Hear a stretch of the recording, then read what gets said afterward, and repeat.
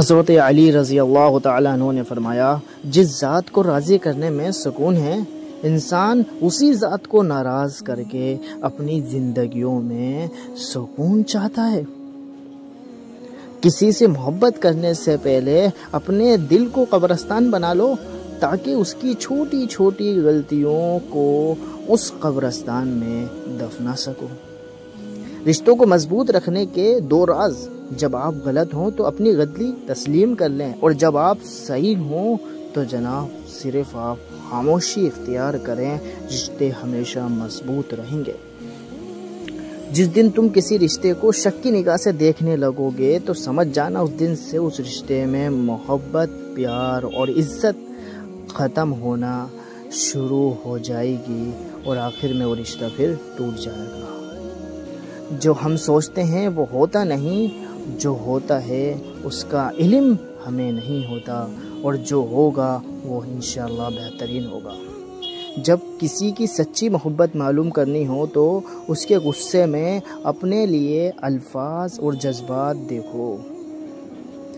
सब्र दो तरह के होता है। एक उस चीज़ का सब्र जो तुम्हें तकलीफ़ दे और दूसरा, जिस चीज़ की तुम तमन्ना करते हो, उस चीज़ का सब्र।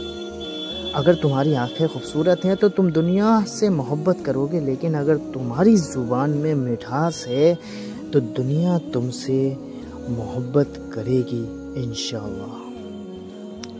अगर अल्लाह की मदद चाहते हो तो उसकी मखलूक की मदद किया करो, दूसरों को सकून देने वाला कभी बेसकून नहीं रहता है। झूठ बोलकर भरोसा तोड़ने से बेहतर है कि सच बोलकर रिश्ता तोड़ दिया जाए। रिश्ता फिर जुड़ जाएगा, लेकिन भरोसा कभी भी नहीं जुड़ता। लोगों के डर से हक बात कहने से ना डरो, क्योंकि अल्लाह के सिवा कोई मौत को करीब ला नहीं सकता और ना कोई रिजक को दूर कर सकता है। जब तुम किसी शख्स को उसकी दौलत की वजह से इज़्ज़त देने लगो तो समझ लो कि तुमने अपने ईमान को खो दिया। हर नेकी करने वाले की नेकियों का वज़न किया जाएगा, सिवाय सबर करने वालों के, कि उन्हें बेअंदाज़ा, बेहिसाब दिया जाएगा। सदक़ अज़ीम like and subscribe my channel